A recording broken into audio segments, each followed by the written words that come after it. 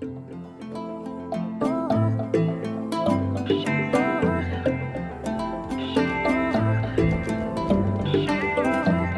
but a beauty queen.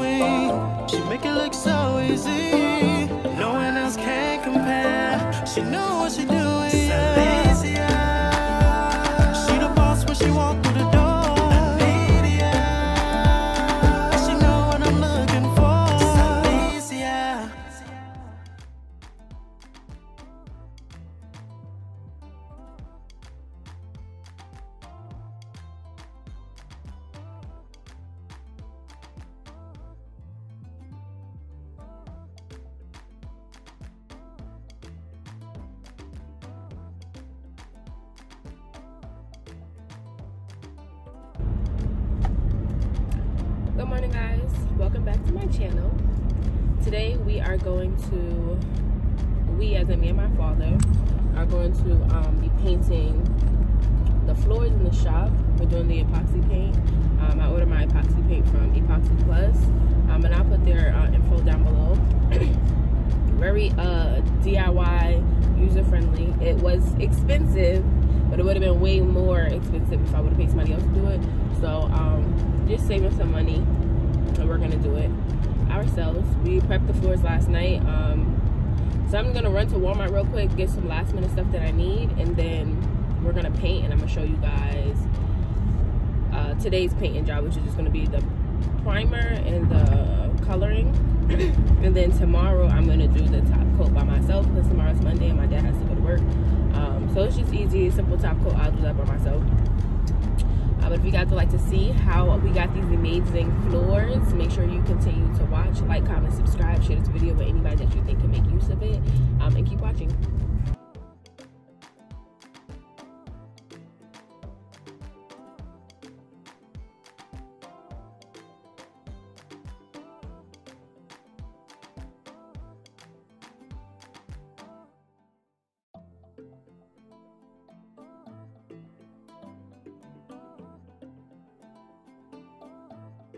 Clump, that's why you gotta mix it for a long time.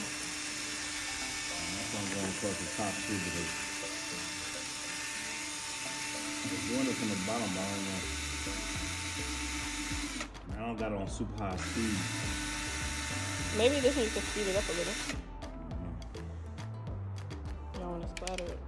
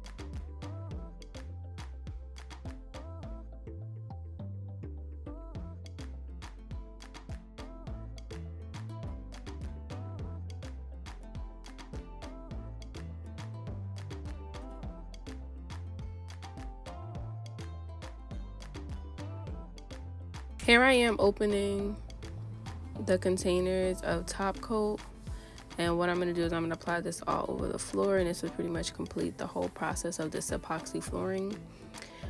I did the primer, we also did the um, epoxy and then this is the third step which is not necessary but it's recommended if you're going to have a high traffic area which having a salon is a high traffic area so this is why I um, made sure that I included this in my steps.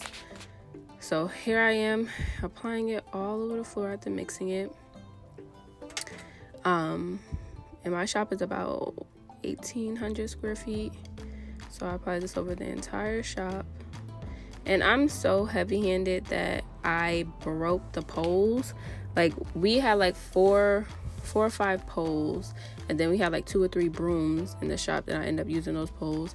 And from the primer and the um, epoxy I broke all the poles.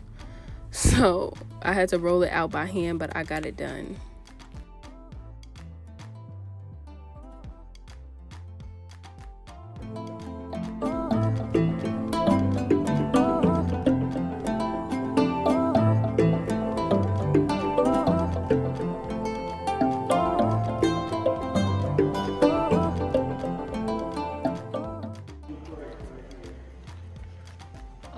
those are mine. Okay. I told Lucky that you would need either a, a straight truck or a tractor trailer because these